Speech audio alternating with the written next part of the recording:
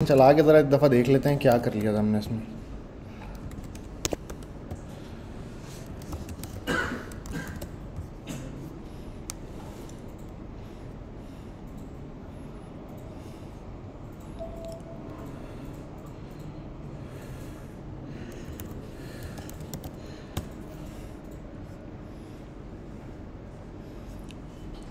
ये क्या सीन है यार? इसमें ये चला क्यों नहीं? अच्छा नहीं, इसमें एक दो चीज़ें रहती थी हमारी। वो रहती ये थी कि सर्वर पे हमने होस्ट नहीं की थी फ़ाइल ये। क्योंकि मैं स्लैश की रिक्वेस्ट कर रहा हूँ तो हेलो वर्ल्ड आ रहा है ना, ये नहीं आना चाहिए। स्लैश की रिक्वेस्ट पे पूरा एचटीएमएल मिलना चाहिए मुझे तो लास्ट हमने जो किया था वो फ्रंट एंड को अलग से होस्ट किया था। गिटहब पेजेस पे और फायरबेस होस्टिंग पे कर सकते हैं आप। या फ्रंट एंड की जो भी होस्टिंग है, उसको हम कहते हैं स्टेटिक होस्टिंग तो हम वो स्टेटिक होस्टिंग की सर्विसेज़ इस्तेमाल करते थे। लेकिन अभी हम एक लाइन का कोड यहीं पे लिखेंगे ना तो ये हमारी जो स्टेटिक होस्टिंग है ना, वो यहाँ पे सेट हो जाएगी। अच्छा उसके लिए ना एक कन्वेंशन है। कन्वेंशन ये है कि एच की जो फ़ाइल है ना एच अभी तो देखो सिर्फ़ एच की एक ही फ़ाइल है ना। ये एक फ़ाइल नहीं होगी। ये होंगी चार, पाँच छः या दस, बारह फाइलें होंगी। कैसे भला? अभी मैंने स्टाइलिंग भी इसी में कर दी है इन इंटरनल स्टाइलिंग जिसको कहते हैं। मैंने जावा स्क्रिप्ट भी इसी में लिख दी है। हालाँकि ये अलग अलग होंगी फाइलें सारी। तो इन तमाम फाइलों के लिए कन्वेंशन ये है कि एक फ़ोल्डर बनाया जाए पब्लिक के नाम का, और इन फाइलों को उसमें डाल दिया जाए। सही है? ये कन्वेंशन है, करोगे तो ठीक है, नहीं करोगे तो भी मसला नहीं है कोई। कोड फिर भी आपका होपफुली चल ही जाएगा अगर ये ना भी करो तो। दूसरा काम क्या करना है आपने? जैसे कि एक्सप्रेस एक फ्रेमवर्क है, ठीक है? सर्वर बनाने का एक फ्रेमवर्क है। तो फ्रेमवर्क हम उसको कहते हैं जो एक कंप्लीट सॉल्यूशन प्रोवाइड करता है। तो इसके अंदर ना स्टेटिक होस्टिंग के लिए इन्होंने पहले से फ़ंक्शन बना के रखा हुआ है इस फ्रेमवर्क में। ठीक है? लाइब्रेरी में ये होता है कि लाइब्रेरी का कुछ, जैसे अगर 200 फ़ंक्शंस हैं टोटल लाइब्रेरी में तो आपको किसी एक फ़ंक्शन की ज़रूरत है तो आप वो वाला इस्तेमाल कर लेते हैं, बाकी को आप इस्तेमाल नहीं करते। ठीक है? फ्रेमवर्क में ऑन अदर एंड क्या होता है कि सारी चीज़ें आपको उसी फ्रेमवर्क की ही इस्तेमाल करनी पड़ती हैं। मज़ीद लाइब्रेरीज आप ऐड कर सकते हैं, लेकिन आप ये नहीं कर सकते कि उस फ्रेमवर्क को बाईपास कर दें आप। ठीक है?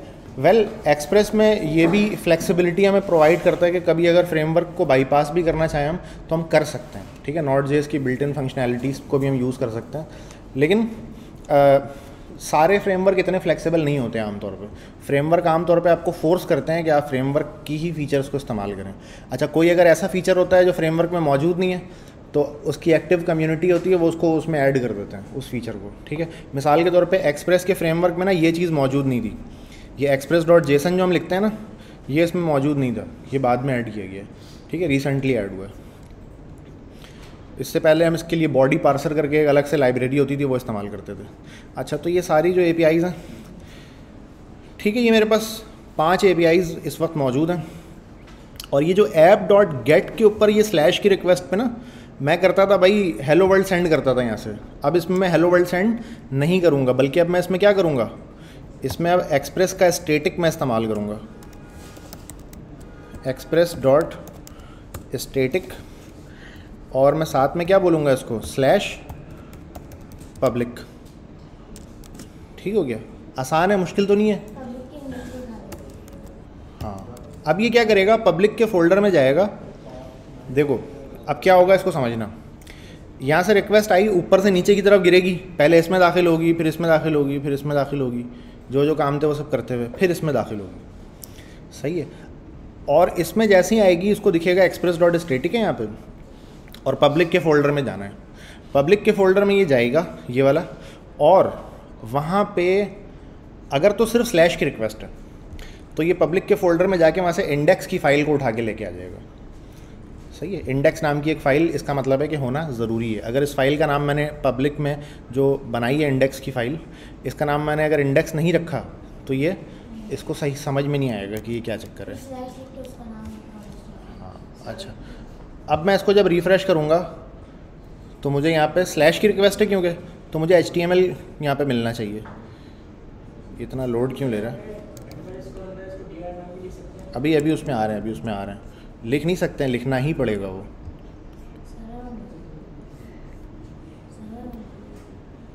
नहीं, सर्वर तो चल रहा है यार।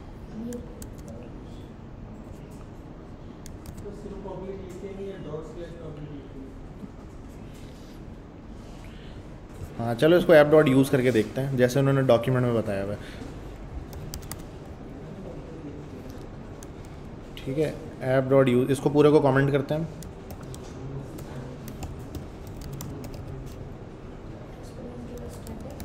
ओ मुझे समझ आ गया मैंने क्या गड़बड़ की है। मुझे समझ आ गया मैंने क्या गड़बड़ की है। मैंने गड़बड़ ये की है यहाँ पे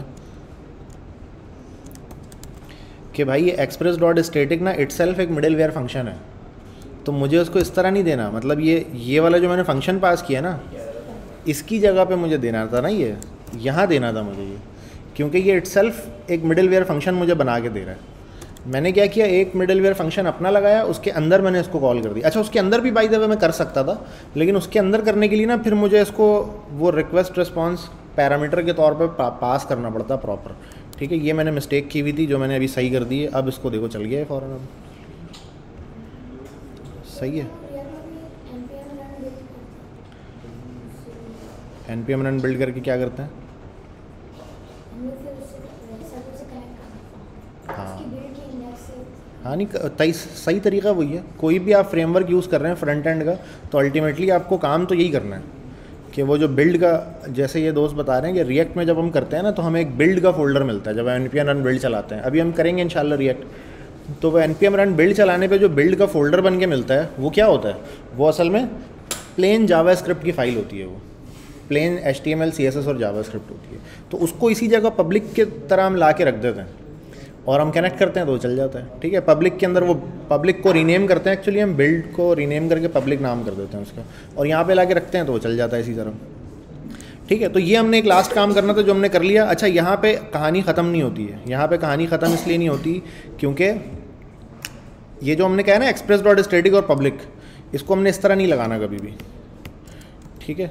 इसको हमने इस तरह कभी भी नहीं लगाना है। इस तरह लगा दें तो कोई इशू भी नहीं है, क्योंकि हमारा रूट पे पड़ा हुआ है पब्लिक के नाम से वो, ठीक है? लेकिन हमारे पास क्या होता है, एक हमें और भी बनाना पड़ता है इसके साथ, जिसको हम बनाते हैं ऐप डॉट यूज़ के ज़रिए, ठीक है? और उसमें हम कोई राउट नहीं लगाते इस तरह से। इसमें हम कोई राउट इस तरह नहीं लगाते, क्योंकि इस वाले पे ना सिर्फ़ ये कौन सी वाली फ़ाइल गेट करेगा? सिर्फ़ ये इंडेक्स की फ़ाइल गेट करेगा और कोई सी भी नहीं करेगा। इस पर ये सिर्फ़ और सिर्फ़ इंडेक्स की फ़ाइल को गेट करेगा और कोई सी भी फ़ाइल इस पर गेट नहीं करेगा। अच्छा दूसरा मुझे लगाना पड़ता है ऐप डॉट यूज़ करके। अच्छा इन दोनों को मैं लगाता हूँ लास्ट में। ठीक है? इन दोनों को मैं क्या करता हूँ? लास्ट में लगाता हूँ। इसको मैं टॉप पे नहीं लगाता। इसको मैंने कट किया और कट करके यहाँ लास्ट में लेकर आ गया मैं। ठीक है? अच्छा ये वाला स्टिल सबसे आखिर में, क्योंकि अगर इन दोनों पे भी हिट नहीं हुआ तो यहाँ पे जाएगा। कैसे हिट नहीं हुआ इन दोनों पे? इन दोनों पे इस तरह के भाई स्लैश की रिक्वेस्ट आई गेट करके। और पब्लिक के फोल्डर में गया, उसको इंडेक्स नाम की कोई फ़ाइल नहीं मिली। तो वो यहाँ से नेक्स्ट वाले पे चला जाएगा। यानी नेक्स्ट वाले पे चला जाएगा। एरर आ रहा था तो? ये वाला नहीं चला था। ऐसा तो नहीं है। अभी कौन सा एरर आ रहा था? अभी तो कोई। नहीं तो एंटर तो हो रहा था ना इसमें। वो उस वक्त शुरू में क्या हो रहा था? कि इस वाले में एंटर हो जा रहा था वो टॉप पे जब ये लगा हुआ था तो। लेकिन इसमें से कोई जवाब नहीं मिल रहा था उसको, क्योंकि मैंने मिस कन्फिग्रेशन कर दी थी। तो मिस कन्फिग्रेशन करने की वजह से इसमें वो एंटर तो हो जा रही थी रिक्वेस्ट राउट मैच हो जा रहा था, लेकिन वो पेंडिंग में फंसा हुआ था। मैंने लास्ट भी आपसे ज़िक्र किया था कि जब सर्वर पे कोई रिक्वेस्ट आती है और रिस्पॉन्स ना भेजा जाए, ठीक है, मिसाल के तौर पे जैसे ऐप डॉट डिलीट है। ऐप डॉट डिलीट की मैंने बॉडी लिखी है और इसमें मैं रिस्पॉन्स डॉट सेंड कहीं पे भी ना लिखूँ। तो ये रिक्वेस्ट स्टिल इसमें दाखिल हो जाएगी आगे। राउट मैच होगा एंटर हो जाएगी रिक्वेस्ट इस राउट में ना। लेकिन जब तक रिस्पॉन्स डॉट सेंड कॉल नहीं होगा ना, वो घूमता रहेगा फ्रंट एंड पर और कब तक घूमता रहेगा वो? सर्वर से तो कभी रिस्पॉन्स नहीं आएगा, मैंने लिखा ही नहीं रिस्पांस वो 300 सेकंड तक घूमता रहेगा, जो कि अगर आपने एक्जियोस से कॉल किया ना फ्रंट एंड से तो एक्जियोस में बाय डिफ़ॉल्ट 300 सेकंड्स का टाइम आउट होता है। ठीक है? तो वो तीन सौ सेकेंड तक वो इस चीज़ को लेके बैठेगा कि शायद मेरे पास रिस्पॉन्स आ जाए सर्वर से। लेकिन सर्वर से रिस्पॉन्स तो आएगा नहीं ऑब्वियसली तो वो 300 सेकंड बाद बोलेगा टाइम आउट ठीक है? एक्जियोस से जब हम रिक्वेस्ट करते हैं ना एक्जियोस डॉट गेट और वो यूआरएल देते हैं तो साथ में कॉन्फ़िगरेशन में हम टाइम आउट भी दे सकते हैं। ठीक है? टाइम आउट अपनी मर्ज़ी का हम दे सकते हैं क्या दस सेकंड तक वेट करना, बीस सेकंड तक करना। बाई डिफ़ॉल्ट वो थ्री हंड्रेड सेकंड तक होता है।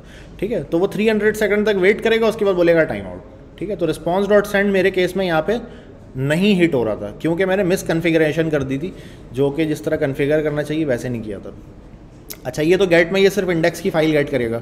अच्छा अब ज़रा मैं क्या करता हूँ, इसके अंदर आके ना पब्लिक में, इन तीनों फाइलों को अलग अलग कर देता हूँ। मैंने कहा कि यार styles dot C S S ठीक है, और ये स्टाइल उठा के ना मैंने यहाँ से कट करके, और इसमें ला के लगा दिया। और इसका ज़ाहिर है अब मुझे लिंक यहाँ पे लगाना पड़ेगा। Dot slash style dot C S S ठीक है? अब ये डॉट स्लैश जो मैंने लगाया ना, ये भी डिपेंड करता है कि मैं इसको डॉट स्लैश लगाऊँगा या सिर्फ़ स्लैश लगाऊँगा। अब यहाँ पे ये बहुत बड़ा एक डिफरेंस आ जाता है, जो कि आपको सिर्फ़ फ्रंट एंड पढ़ते हुए कभी भी समझ नहीं आएगा ये मसला। अभी वो हम समझ लेंगे कि वो क्या चक्कर है। यहाँ पे डॉट स्लैश और सिर्फ़ स्लैश लगाना, ये दो एंटायरली डिफरेंट चीज़ें हैं। अच्छा तो ये मैंने हाँ। समझ तो लो पहले अभी तो मैंने बताया थोड़ी है कि क्या फ़र्क है। वो तो बताऊँगा अभी मैं। मैं बता रहा हूँ ना वो फ्रंट एंड पढ़ते हुए आपको कभी समझ ही नहीं आएगा वो। वो आपको समझ आएगा इधर ही। ये क्या हुआ?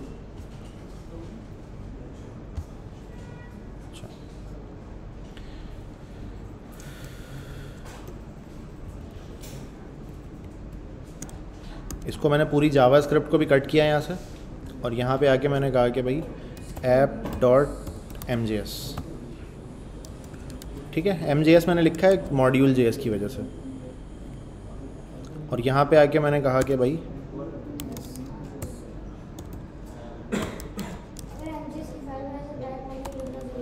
टाइप मॉड्यूल लिखना फिर ज़रूरी नहीं है। दोनों लिख दो तो भी सही है, दोनों भी कर दो, लेकिन अब ये लिखना ज़रूरी नहीं है क्योंकि मैंने फ़ाइल एम की बनाई है।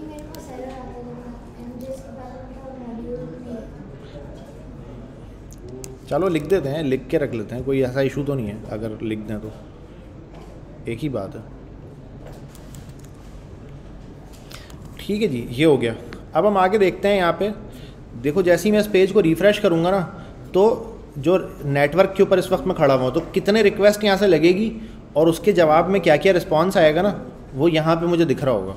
अब मैं इसको रिफ़्रेश करता हूँ तो देखो मेरे पास क्या हुआ, यहाँ पे कि एक style dot C S S की रिक्वेस्ट लगी है, ठीक है? Style dot C S S की जो रिक्वेस्ट लगी है, उसमें तुम नोट करो क्या सीन हुआ हुआ यहाँ पे।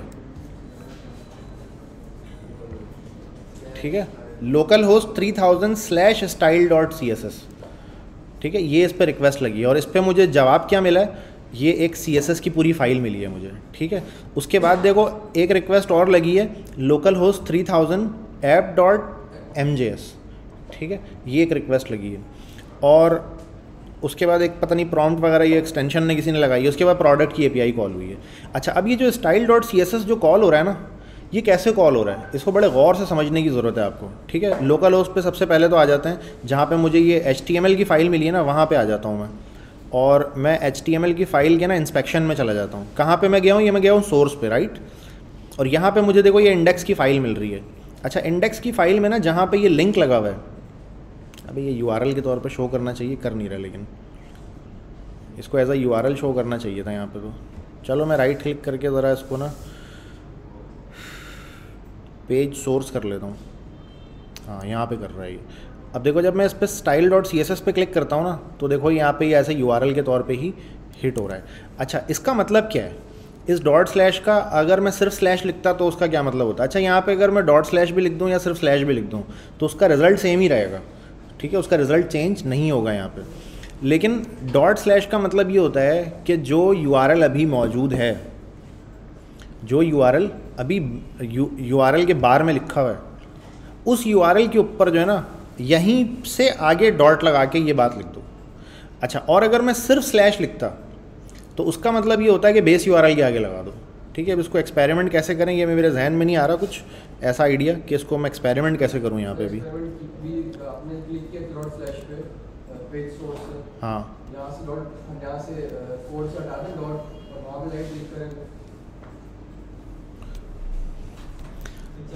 नहीं हो तो चल असल में हो रही रहा है कि मेरे पास इतना शॉर्ट है ना फ्रंट एंड मेरे पास फ्रंट एंड जो है वो इतना शॉर्ट किस्म का है कि उसमें एक ही पेज है।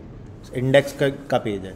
इसको मे भी मैं वेरीफाई कर पाता अगर मेरे पास स्लैश होम स्लैश कॉन्टैक्ट होता तो स्लैश कॉन्टैक्ट के ऊपर जब ये लगता ना ये वाला तो पता है यू क्या बनता? ये बनता है localhost three thousand slash contact slash style dot C S S ये बन जाता। हाँ। कैसे होगा अभी? दो एच टी एम एल की फ़ाइल बनानी पड़ेगी हमें। हाँ। नहीं नहीं, सही अभी आइडिया आ गया मुझे कि इसकी कॉपी बना के ना, इसको कॉन्टैक्ट डॉट एच कर देते हैं। कॉन्टेंट वही रहेगा, लेकिन कॉन्टैक्ट डॉट एच हो गया। अच्छा अब ये contact dot H T M L मुझे मिलेगा कहाँ से? मतलब मुझे अगर पेज यहाँ पे ओपन करना हो तो मुझे कैसे मिलेगा पेज वो? स्लैश कॉन्टैक्ट लगाऊँगा मैं, मिल जाएगा मुझे वो पेज।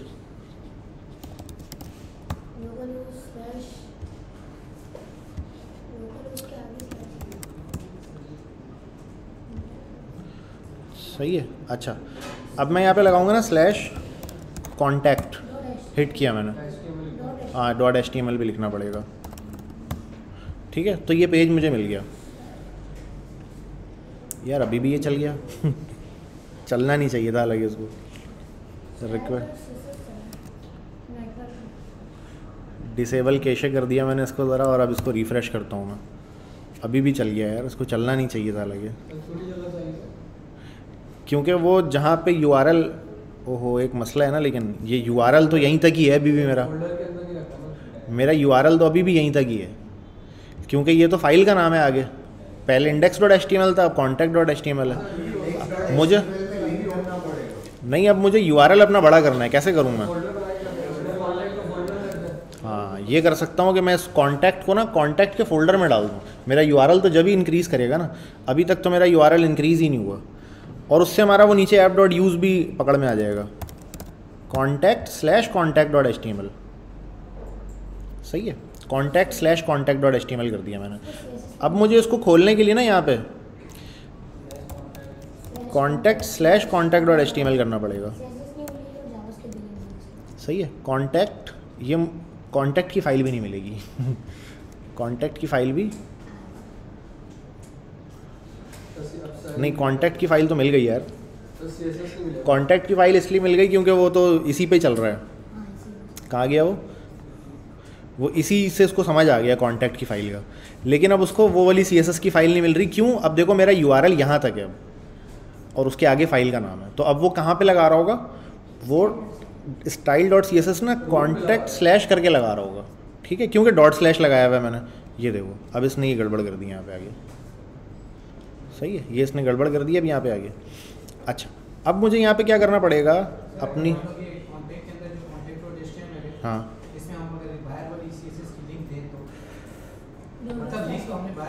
अगर तो सीडीएन जैसे ये सीडीएन है एक्जियोस का ये तो सेट है इसको तो कोई इशू नहीं है।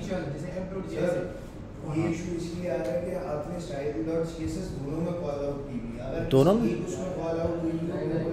नहीं नहीं ये असल में देखो जब ये फ्रंट एंड का पेज होता है ना ये इंडेक्स और कॉन्टैक्ट ये दो इंडिविजुअल पेजेस हैं इनका आपस में कोई ताल्लुक नहीं है दूर दूर तक। जब ये कॉन्टैक्ट लोड होगा तो सिर्फ़ कॉन्टैक्ट वाली चीज़ें चलेंगी इंडेक्स जब लोड होगा तो सिर्फ़ वो चीज़ें चलेंगी इनका आपस में कोई ताल्लुक नहीं है।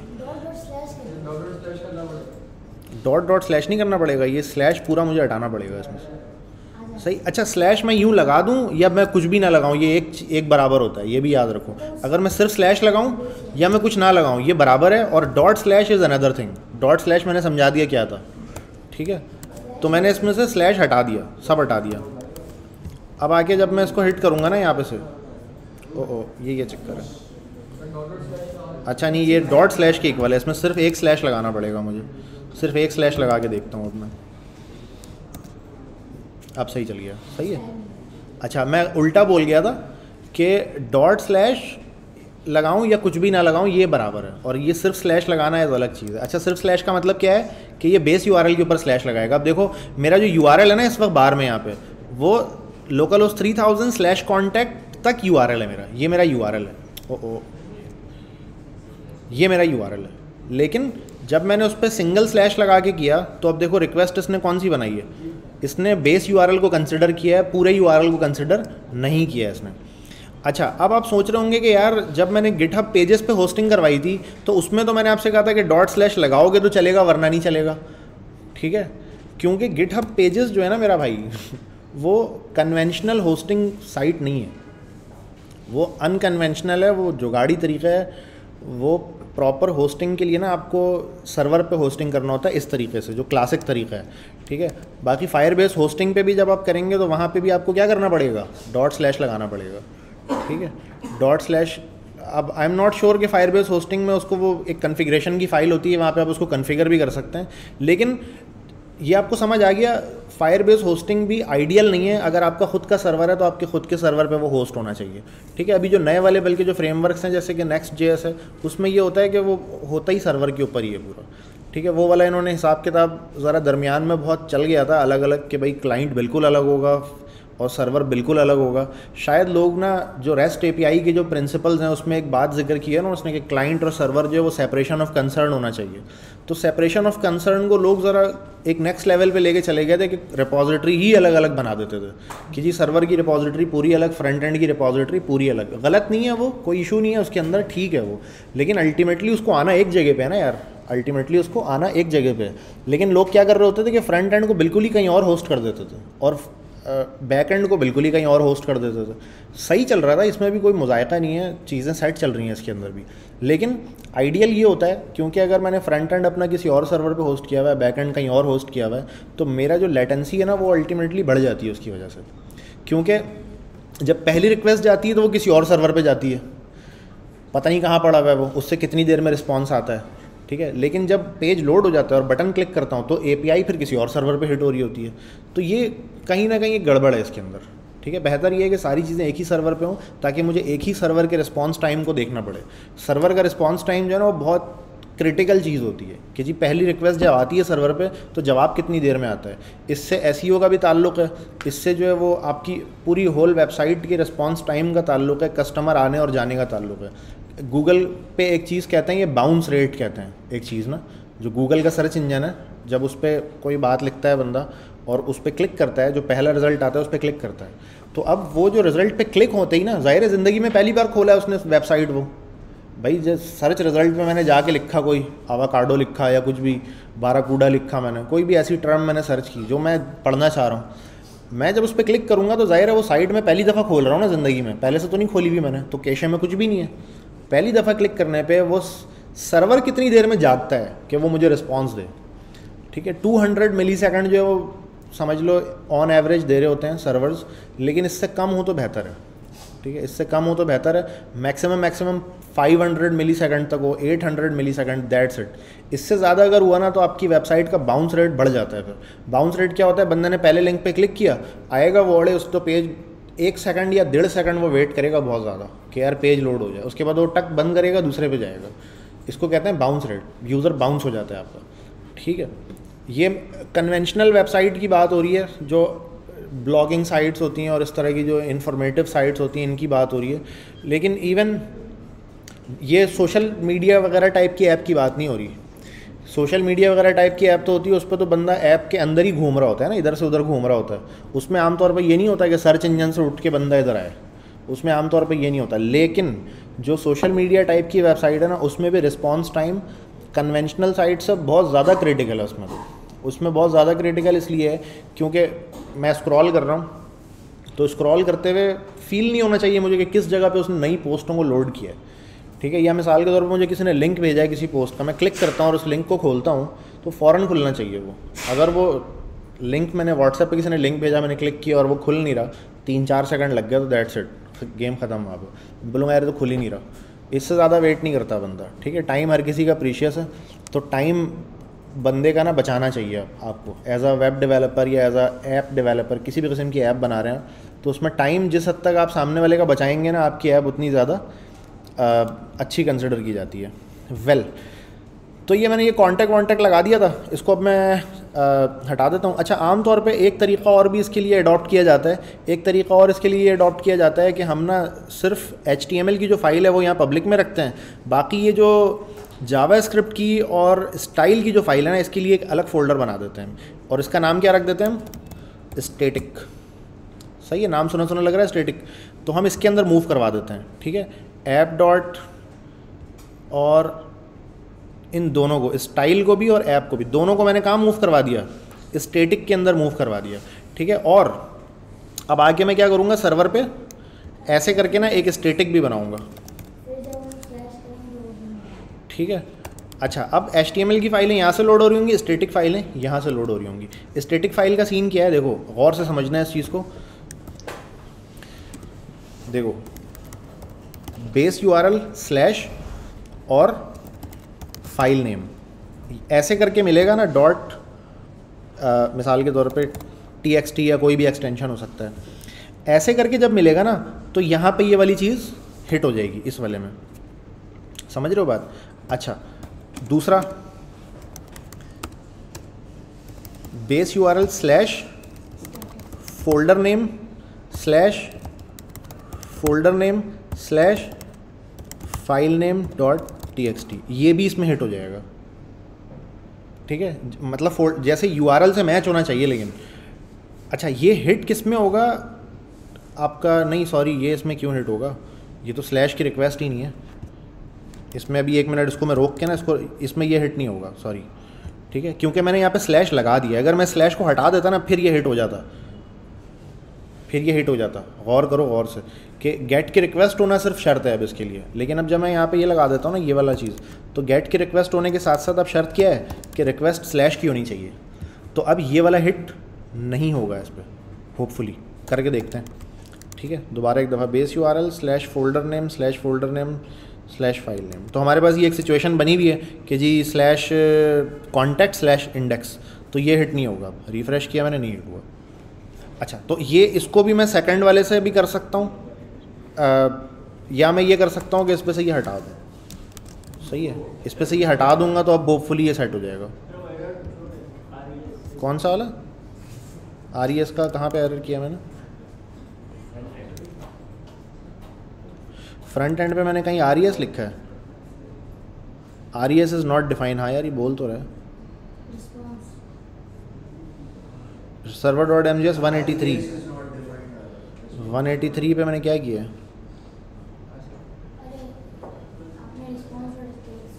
अच्छा यहाँ रिस्पॉन्स है नहीं ना। सही है, वो रिक्वेस्ट कॉमा रिस्पॉन्स नहीं लिखा था। एक्चुअली क्या हो रहा है, जब वो यहाँ हिट नहीं हो रहा ना? पर जब वो यहाँ पे हिट नहीं हो रहा ना, और यहाँ से वो आगे बढ़ रहा है तो ये 404 वाले पे आके हिट हो रहा है। और उसमें मैंने एक एरर छोड़ा हुआ था। इसकी वजह से वो एरर आ रहा है मेरे पास। रिफ़्रेश करता हूँ नॉट फाउंड आ गया। ठीक है? नॉट फाउंड क्यों आ गया? क्योंकि ये ये वाली चीज़ उसको समझ नहीं आ रही गेट वाले को। अच्छा तो आमतौर पे ना इस वाले को हम सिर्फ़ इंडेक्स की फ़ाइल गेट करने के लिए हम इस्तेमाल कर रहे होते हैं।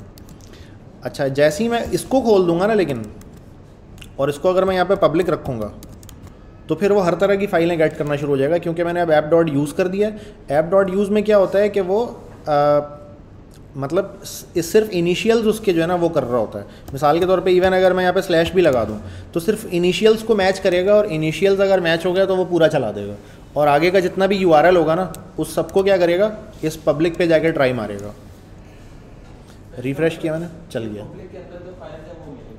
हाँ। सिर्फ़ पब्लिक के अंदर जो फ़ाइल है ना, उसको मैंने पब्लिक को मैंने as a static folder declare कर दिया। अच्छा अब क्या मुझे ऐप डॉट गेट लगाना चाहिए? क्या मुझे ऐप डॉट यूज़ लगाना चाहिए? अभी एक क्वेश्चन है, ठीक है? अभी के केस में ना बहुत ही प्लेन हमारा हिसाब किताब है। हमारी जो इस पब्लिक के फोल्डर की जो कन्फिग्रेशन है ना, उससे हम ये डिसाइड करते हैं कि हमने ऐप डॉट गेट लगाना है, हमने ऐप डॉट यूज़ लगाना है। सही है?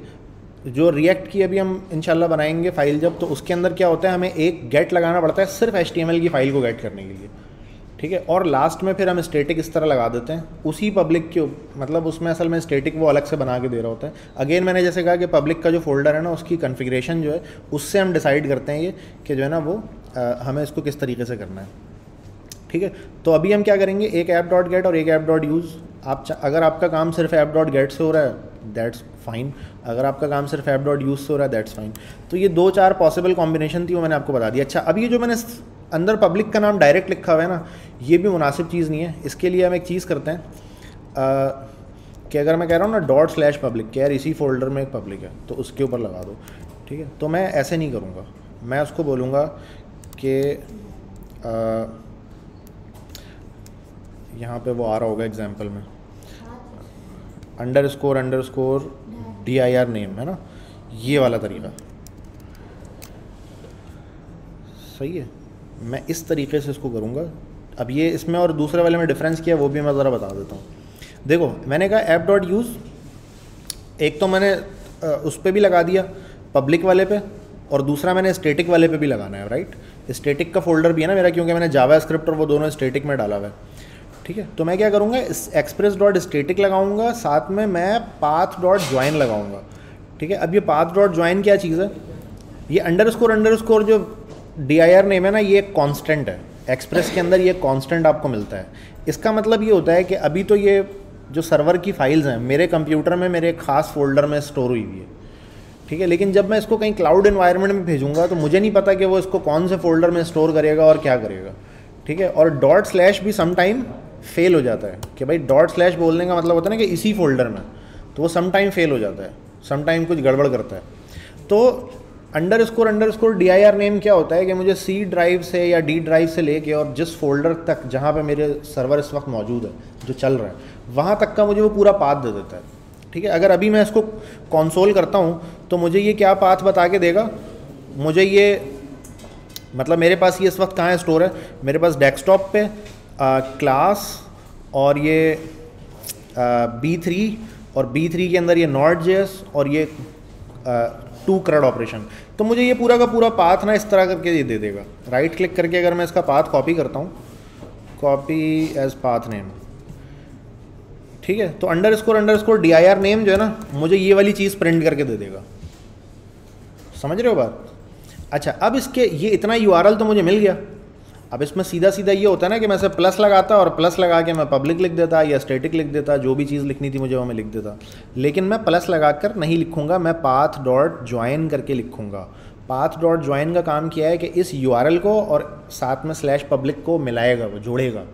ठीक है, लेकिन मैंने इसके लिए पाथ डॉट ज्वाइन का फ़ंक्शन क्यों यूज़ किया? वो इसलिए यूज़ किया क्योंकि पाथ लिखने के जो जो रूल्स हैं, वो हर ऑपरेटिंग सिस्टम में वेरी करते हैं। ठीक है? Operating system to operating system ये वेरी करते हैं। और file system to file system भी वेरी करते हैं। एक ही ऑपरेटिंग सिस्टम में अगर आपके दो अलग अलग फ़ाइल सिस्टम्स हैं तो उसमें ये यू अलग अलग हो सकता है तरीका। मिसाल के तौर पे मैं इस वक्त मैक ऑपरेटिंग सिस्टम पे हूँ तो इसमें आप देखें, ये फॉरवर्ड स्लैश से इसको अलग अलग करता है। ठीक है? मिसाल के तौर पे क्लास के बाद स्लैश लगा के जब S M I T chat three किया मैंने तो उसमें मैंने फॉरवर्ड स्लैश लगाया है। ऑन अदर एंड जो विंडोज़ का N T F S file system है, उसमें क्या होता है? ये बैकवर्ड स्लैश होता है। ठीक है? मैक और लिनक्स में फॉरवर्ड होता है विंडोज़ में बैकवर्ड ये मैं छोटी छोटी एग्जाम्पल्स बता रहा हूँ, वैसे और हज़ार चीज़ें हैं जिसको वो देख रहा होता है इंटरनली तो हम अगर ये खुद से करेंगे तो हमें इस चीज़ का ख्याल रखना पड़ेगा। तो हम ये फ़ंक्शन यूज़ कर लेते हैं, ये इंटरनली उसको देख लेता है खुद ही। ठीक है? दूसरी बात मैक में और लिनक्स के अंदर जो है ना ड्राइव लेटर्स नहीं होते, आप नोट कीजिए। ये स्लैश यूज़र से ये अलिफ मद्दा से शुरू करता है उसको होम होम से शुरू करता है। ठीक है? कि भाई होम से और आगे यूज़र्स और आगे मलिक ऐसे करके। ठीक है? वेल ये होम ये नहीं है, वैसे होम ये वाला होता है। लेकिन इसने रूट जहाँ से भी शुरू होगा ना ये, इसमें ड्राइव लेटर नहीं होता कि जी सी ड्राइव या डी ड्राइव या ई ड्राइव ये सीन नहीं होता इसमें। इवन आपके पास अगर चार ड्राइव्स भी है ना तो वो शो इधर ही होगा कहीं ना कहीं। मतलब user slash Malik slash desktop के साथ drive A drive to drive ठीक है? मैं क्या हूँ Malik slash drive one Malik slash drive two ऐसे करके उसको माउंट करना पड़ता है मुझे अपने रूट फोल्डर में ही कहीं ना कहीं। तो अब ये ड्राइव लेटर का जो इशू है, ये तो बहुत मुश्किल है। अगर खुद से कस्टम लॉजिक लिखे ना, अब आप चेक करेंगे अच्छा शुरू में ये वो तो नहीं है। फिर वो किधर माउंट है, पता नहीं, बड़ा लंबा चक्कर होगा मोस्ट प्रॉब्ली वो। तो ये एक दूसरा डिफरेंस मैंने आपको बता दिया। इस तरह के छोटे छोटे बहुत सारे डिफरेंसेस हैं। इसी तरह कुछ नाम के अंदर भी चक्कर है कि भाई, कुछ फ़ाइल सिस्टम है, उसके अंदर फला फला स्पेशल कैरेक्टर रख सकते हैं, कुछ में नहीं रख सकते। जैसे वेरिएबल में है ना जावा स्क्रिप्ट में कि जी नंबर से शुरू नहीं हो सकता। तो अब इसके अंदर कौन से स्पेशल कैरेक्टर आ सकते हैं, कौन से नहीं आ सकते, वो मुझे थोड़ी पता चलेगा। तो वो, ये सब चीज़ों का ख्याल रखने के लिए ये पाथ डॉट ज्वाइन करके मेरे पास एक चीज़ है। अब ये पाथ क्या चीज़ है? पाथ एक छोटी मोटी सी लाइब्रेरी है, जिसको हम क्या करेंगे? इम्पोर्ट करेंगे। इम्पोर्ट पाथ फ्रॉम पाथ ठीक है? अब ये पाथ जो है मैंने इंस्टॉल नहीं किया, इसलिए इंस्टॉल नहीं किया क्योंकि नॉट जेस के अंदर बिल्ट इन ये लाइब्रेरी पहले से मौजूद होती है, ठीक है? जब नॉट जेस में इसको इंपोर्ट करते हैं तो ये ऑटोमेटिकली इसको मिल जाती है बगैर इंस्टॉल किए हुए। अच्छा और मैंने साथ में इससे एक और चीज़ इंपोर्ट करानी है, वो है underscore underscore D I R name अच्छा पहले ये होता था जो ई एस फाइव वाला जो था ना नॉट जी एस जो नॉट जे में भी क्या हुआ है? डेवलपमेंट हुई है। जैसे फ्रंट एंड में हमने देखा ना ई एस फाइव था, अब ई एस सिक्स आ गया अच्छा ई एस सिक्स भी ना सारे ई एस सिक्स एक नहीं होते। ये भी आप ज़रा इसको समझ लीजिएगा। ई एस सिक्स जो पहली दफ़ा आया था, वो 2015 में इंट्रोड्यूस हुआ था फ्रंट एंड के। फ्रंट एंड में 2015 में इंट्रोड्यूस हुआ था तो उसको हम कहते थे ई एस दो हज़ार पंद्रह। उसका ये नाम था। ठीक है, उसके बाद पता नहीं 2016 में भी हुआ, फिर 18 में भी हुआ, फिर 20 में भी हुआ, फिर 22 में भी हुआ। तो ये अलग, सबको ई एस सिक्स ही कहते हैं। ठीक है ई एस सिक्स ज़ाहिर है ई एस सिक्स जब शुरू हुआ है 2015 में फ्रंट एंड पे जब तो वो उसमें इंक्रीमेंटल वे में काफ़ी सारी चीज़ें ऐड करेंगे। एक सर्टन पॉइंट पे आके बोलेंगे अच्छा यहाँ तक ई एस सिक्स पूरा हो गया ऐड फिर भी करते रहेंगे। फिर बोलेंगे अच्छा अब यहाँ से ई एस सेवन शुरू हो गया। तो इस तरह का सीन है कोई ना। तो अगर कहीं पे लिखा हुआ है ना ई एस दो हज़ार पंद्रह तो इसका मतलब है कि उसमें वो नई वाली चीज़ें सपोर्टेड मोस्ट प्रॉब्ली नहीं होंगी। उसको अगर आपने देखना है ना कि कौन सा वाला है और वो इसमें मैं क्या लिखूँगा? E S six with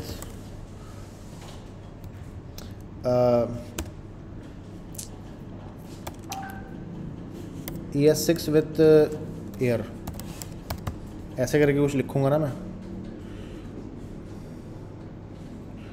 यहाँ पे डब्लू थ्री स्कूल पे एक आ गया मेरे पास। हाँ ये देखो ना, आ गया। ठीक है ई एस फाइव जो है ना 2009 में आखिरी हुआ है। उसमें इन्होंने स्ट्रिक मॉड और ये सब एरे डॉडीज एरे ये चीज़ें इंट्रोड्यूस करवाई थी। ई एस दो हज़ार पंद्रह में ना, फिर ये ई एस सिक्स हो गया, देखो। अब यहाँ से रीड मोर करना है तो आपने कर सकते हैं। लेट कॉन्स्ट इसमें ऐड किया इन्होंने। Array dot find array dot find index ये चीज़ें ऐड की। फिर 2016 में एक वर्जन आया, उसमें दो चीज़ें ऐड हुई हैं। फिर 2017 में आया, उसमें ये चीज़ें ऐड हुई हैं। 18 में 19 में 20 में। ठीक है? 20 में इन्होंने नलिश ऑपरेटर ऐड किया। मिसाल के तौर पर कहीं पर अगर लिखा हुआ है ना कि भाई इस ब्राउज़र में ई एस सपोर्ट है तो उसमें नलिश ऑपरेटर काम शायद ना करे उसके अंदर। शायद क्या? ऑब्वियसली नहीं करेगा। ठीक है? और इसमें इन्होंने बताया भी है कि ब्राउज़र की सपोर्ट जो है ना वो कौन सी है? कौन कौन सी है? ई एस फाइव जो है वो कब इन्होंने सपोर्ट किया? 2012 में सपोर्ट किया। ठीक है? देखो 2009 में आ गया था, लेकिन इसने 2012 में सपोर्ट किया इसको। इन्होंने 2013 में सपोर्ट किया इसने 2011 में। आई ई e थोड़ा थोड़ा जल्दी सपोर्ट कर दिया उन्होंने ठीक है? फिर अब सबसे लास्ट वाला जो है ई एस दो हज़ार सोलह, उससे आगे की बात ही नहीं की उन्होंने तो सबने देखो, जल्दी इसमें सपोर्ट दे दी। 2016 में ही सबने सपोर्ट दे दी क्रोम ने भी। फायरफॉक्स थोड़ा लेट रहा है इसमें। सही है तो सारी ई एस भी ना अलग अलग है। तो इस तरह फ्रंट एंड पे डेवलपमेंट हुई है, इसी तरह बैक एंड पे भी डेवलपमेंट हुई है। बैक एंड पे क्या हुआ है कि यहाँ पे जो ई एस सिक्स थी ना, वो 2009 में इंट्रोड्यूस हुई थी। नॉट नॉट जेस आया ही 2009 में था। तो उस वक्त इन्होंने जो नाम रखा था, उसका कॉमन जे रखा था। तो कॉमन जे में क्या होता था कि अपने हिसाब से उनको जो समझ आया वो उन्होंने बना दिया। सर्वर पे पहली दफ़ा चल रही थी जावा स्क्रिप्ट उससे पहले कभी सर्वर पे चली नहीं थी। तो ये तीन चार लड़के थे, इन्होंने बोला, यार, सर्वर पे उसको चलना चाहिए। और वो ये वी एट का इंजन लिया गूगल क्रोम ने जो उसको ओपन सोर्स किया था उसी वक्त। तो वो लेके उस पर बनाया नॉट जेस के नाम से एक प्लेटफॉर्म तैयार किया उन्होंने तो उसमें क्या होता था, ये जो पाथ ये जो underscore underscore D I R name है ना, जो नीचे यहाँ पे मुझे दिख रहा था ये ग्लोबल कांस्टेंट होता था। ग्लोबल कांस्टेंट का मतलब ये है कि मैं लिखूँगा ना इसको, ये वैसे ही मिलेगा। हालाँकि इस नाम का कोई वेरिएबल बनाया नहीं है मैंने। ये वैसे ही मिलेगा। मुझे ग्लोबली मिलेगा। ठीक है? लेकिन अब इसको क्या कर दिया इन्होंने? जो नई वाली अब जावा स्क्रिप्ट आई है ना, यानी पहले तो कॉमन जे था, अब इसको बोलते हैं मॉड्यूल जे ठीक है? ई एस मॉड्यूल कहते हैं, जो नया वाला है। जो फ्रंट एंड पे भी यही नाम रखा है बैक एंड पे भी यही। अब ज़रा कॉमन कर रहे हैं दोनों को, एक जैसा कर रहे हैं। पहले क्या था कि सर्वर बिल्कुल ही एक तरफ़ अलग निकल रहा था और फ्रंट एंड एक तरफ़ अलग निकल रहा था। तो उसमें ये कांस्टेंट वेरिएबल अब नहीं मिलता। ये कांस्टेंट ग्लोबल कांस्टेंट अब नहीं रहा उसमें, नए वाले में। तो नए वाले में अगर मैंने एम की फ़ाइल बनाई है ना तो ये देखो बोलता है कि यार मुझे ना डीआईआर नेम मिल ही नहीं रहा। अब डीआईआर नेम को मुझे ना इम्पोर्ट करना पड़ता है पाथ की लाइब्रेरी में से। ठीक है? तो मैं जब भी यहाँ पे इसको इंपोर्ट कर रहा था लेकिन वो इंपोर्ट हो नहीं रहा। अब ज़रा मैं देखता हूँ मैंने क्या गड़बड़ की है।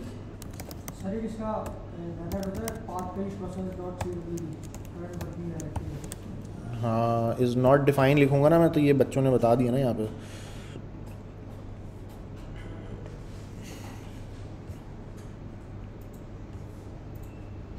पाथ डॉट रिजॉल्व करके होता है हाँ ये रहा। सही है? ये ऐसे करके ना मुझे बनाना पड़ता है। तो ये underscore underscore D I R name अब मुझे पाथ डॉट रिजॉल्व लिखता हूँ ना तो मिलता है मुझे ये। तो ये मुझे जनरेट करना पड़ता है। या मैं ये कर सकता हूँ पाथ डॉट रिजॉल्व डायरेक्ट लिख दूँ, लेकिन underscore underscore D I R name मैं इसलिए बनाता हूँ, ज़रा ये नॉस्टैल्जिक है और ज़रा पुराने बंदों को ना देख के फ़ौरन समझ आता है अच्छा ये क्या चीज़ है। ठीक है, अगर मैं यहाँ पे पाथ डॉट रिजॉल्व को डायरेक्ट भी लिख दूँ ना इसकी जगह पे, जहाँ पे मैंने ये underscore D I R name लिखा है, यहाँ पे अगर मैं यूँ डायरेक्ट लिख दूँ तो भी ठीक है, काम करेगा। लेकिन स्टिल मैं ये बनाता हूँ, ज़रा कन्वेंशनल लगता है ये थोड़ा, और थोड़ा नॉस्टैल्जिक लगता है। जो पुराना बंदा कोई देखेगा तो उसको फ़ौरन समझ आता है ठीक है, ये चल गया मेरा हिसाब किताब ओके हो गया। अच्छा ये मुझे काम सब में करना है। ये मुझे काम ना इन सब में करना है राइट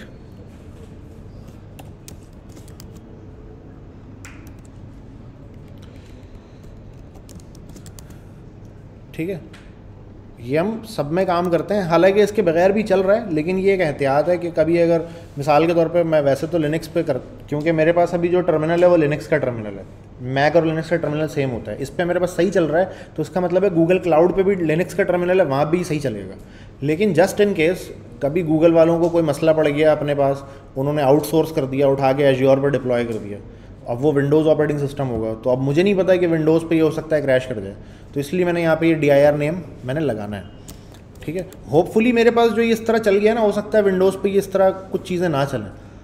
आपके पास। आप जब चलाएँगे ना तो हो सकता है मेरे वाले से बिल्कुल डिफरेंट हो। लेकिन जब ये लगा देंगे ना पास डॉट ज्वाइन तो ये सेम हो जाएगा। एक्सपीरियंस बिल्कुल सेम हो जाएगा दोनों का। ठीक है? तो मैंने ये लगा वगा के इसको सेट कर दिया। अब स्लैश स्टेटिक करके ना मैंने जो ये दिया है app dot M J S और स्टाइल डॉट एम अब ये स्लैश स्टेटिक स्लैश करके होगा। तो मुझे यहाँ पे क्या लगाना पड़ेगा अब? मुझे यहाँ पे अब स्लैश स्टेटिक स्लैश लगाना पड़ेगा। अब मुझे ये ऐसे करके मिलेगा। ठीक है? मैंने कहा बेस यूआरएल पे स्लैश स्टेटिक लगाओ और स्लैश करके जो भी फ़ाइल है वो लगा दो। आके अब इसको चेक करते हैं, मिल रहा है कि नहीं मिल रहा। सही है? मिल तो गया ही, कुछ एरर दिया लेकिन इसने style dot C S S नहीं मिला इसको। Why slash static slash style dot C S S सही तो है। स्लैश स्टेटिक अच्छा ये दोनों में मैंने पब्लिक कर दिया ना। एक में मुझे स्टेटिक रखना पड़ेगा ना। ये तो पब्लिक ऊपर मैंने पब्लिक के लिए किया था कि पब्लिक के जो स्लैश कॉन्टैक्ट और फोल्डर के अंदर वाली जो चीज़ें उसको गेट करने के लिए किया था ये। ठीक है? रिफ़्रेश किया मैंने। अब मुझे देखो सारी चीज़ें मिल गई हैं। सी एस एस भी मिल गई जावा स्क्रिप्ट भी मिल गई, ये भी मिल गया। अच्छा अब जो मैं बता रहा था ना, जिन लोगों का रिएक्ट का बैकग्राउंड है जस्ट उनके लिए इंटरेस्ट के लिए बता रहा हूँ कि ये वाली चीज़ अगर मैंने लगाई ना रिएक्ट में, ये वाली चीज़ तो मेरा पूरा कोड ब्रेक हो जाता है। पूरा कोड इसलिए ब्रेक हो जाता है क्योंकि रिएक्ट के अंदर ना, ये वाला जो काम है, ये वाला जो काम है रिएक्ट का रिएक्ट का अपना राउटर भी करता है ये, है ना? ये तो रिएक्ट के अपने राउटर से होता है ना।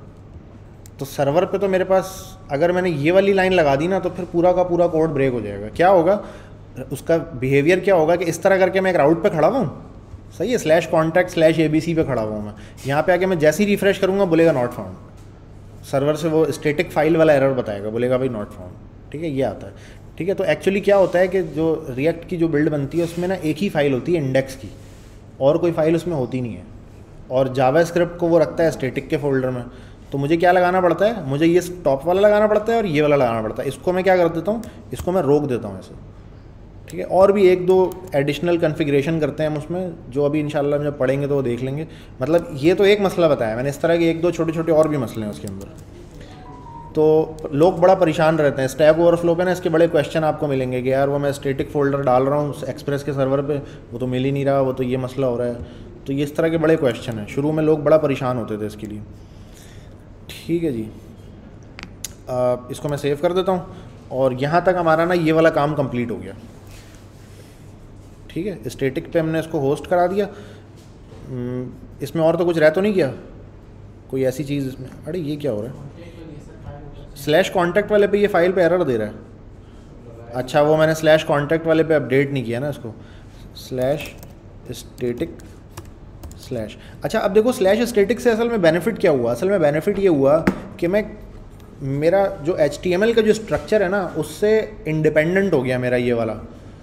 सही है? मिसाल के तौर पे अगर मेरे एचटीएमएल के स्ट्रक्चर के अंदर ना, हर फोल्डर के, हर फोल्डर के अंदर एक फ़ाइल होती।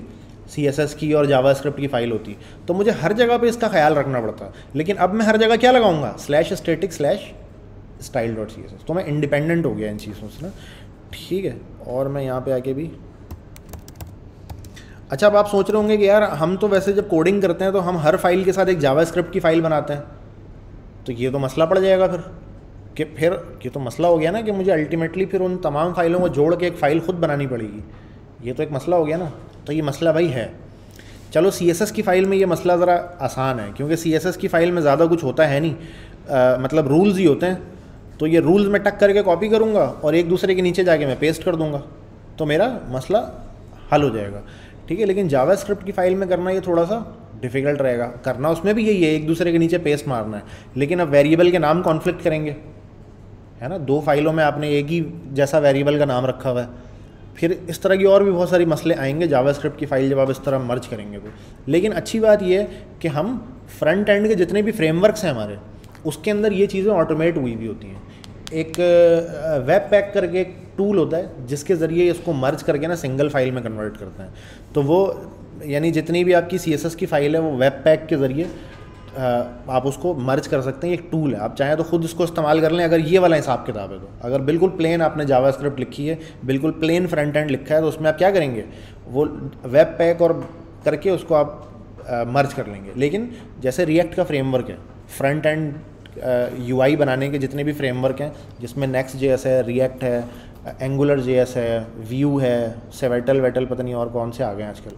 तो उन सब में ना ये काम उन्होंने पहले से हैंडल किया हुआ है कि जैसे ही आप N P M run build चलाते हो ना तो एक पीछे बंच ऑफ़ स्क्रिप्ट हैं।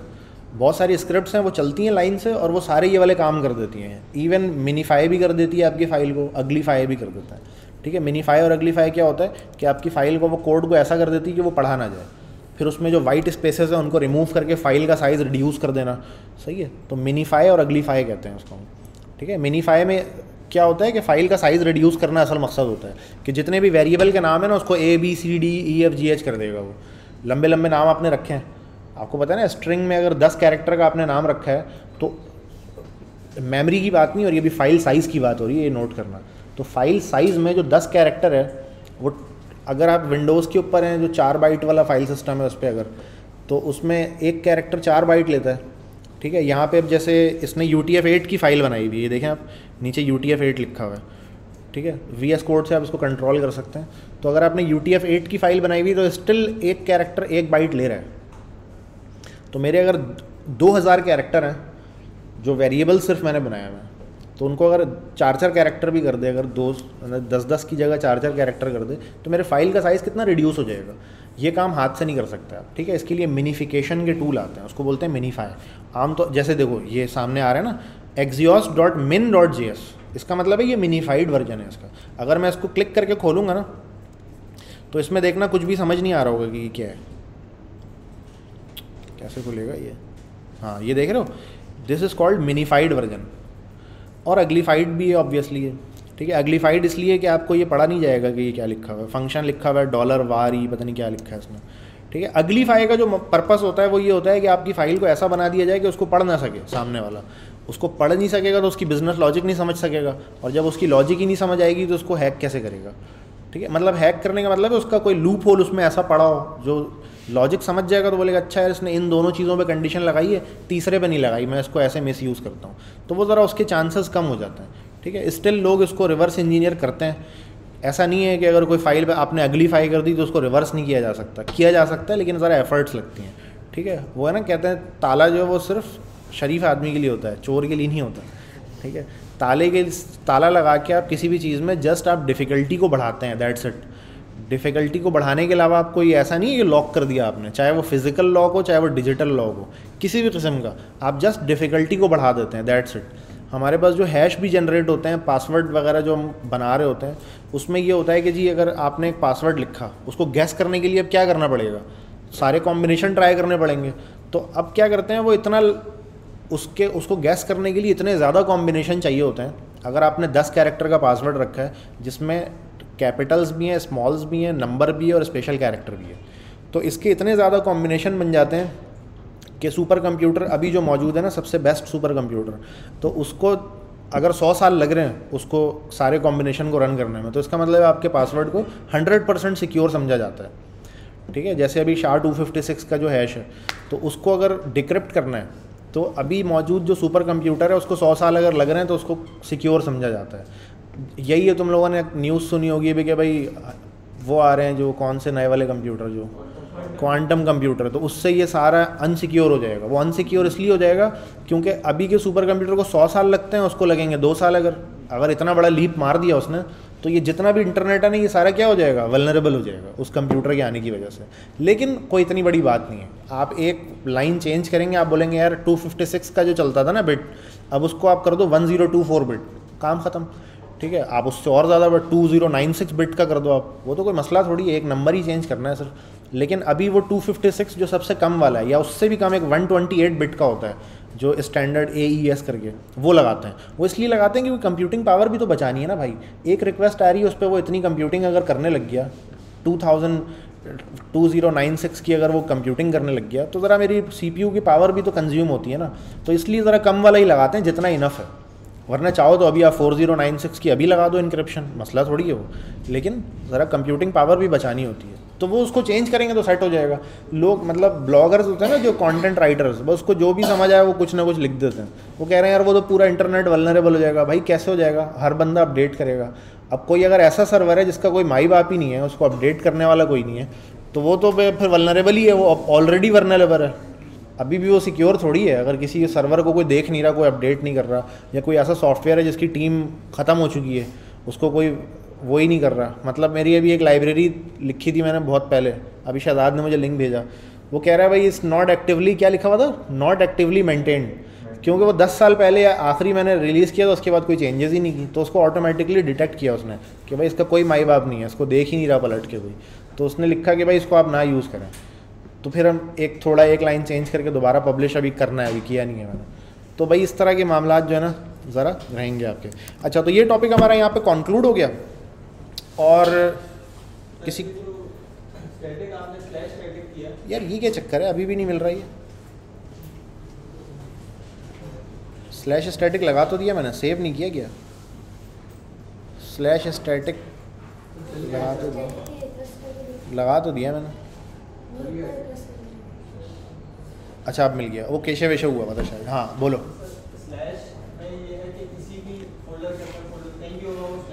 देखो यूआरएल के अंदर स्लैश और डॉट स्लैश का अलग मतलब है फोल्डरों के अंदर डॉट स्लैश और स्लैश का अलग मतलब है। ये तो समझ आ गया ना। असल में मैंने क्लास में बताया ही यही है कि फोल्डरों में अलग मतलब है यूआरएल में अलग मतलब है।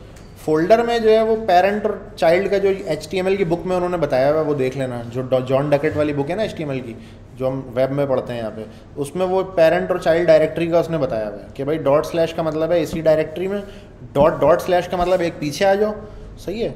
और स्लैश स्लैश करके आगे जितना जाओ वो चले जाओ। यूआरएल में मतलब है कि डॉट स्लैश का मतलब है कि जहाँ, अभी जितना यू आर बार में मौजूद है, वहाँ से डॉट स्लैश करके आगे, ठीक है? और सिर्फ़ स्लैश का मतलब है बेस यूआरएल और बैक का कोई उसमें मतलब बैक का भी चलेगा by the way dot dot slash करेंगे तो यूआरएल जो मौजूद है ना, उसमें से एक आइटम वो हटा के और उसके बाद लगाएगा। तो ऑलमोस्ट अगर रिलेट करना चाहो तो सेम ही है, बात सेम ही है। जी। कुछ भी ना लिखा हो तो कुछ भी ना लिखा हो तो अभी हमने एक्सपीरियंस किया कि वो डॉट स्लैश के इक्वल हो रहा है। लेकिन ये करके देख सकते हो, वो तो ज़ाहिर है मैं भी भूल जाता हूँ, देखो अभी मैं भी करके देख रहा हूँ तो पता चल जाता है। ये इतनी जो स्मॉल डिटेल्स हैं वो याद नहीं रहती ऑब्वियसली वो जब आप करते हैं, लेकिन तो आपको रिकॉल हो जाता है।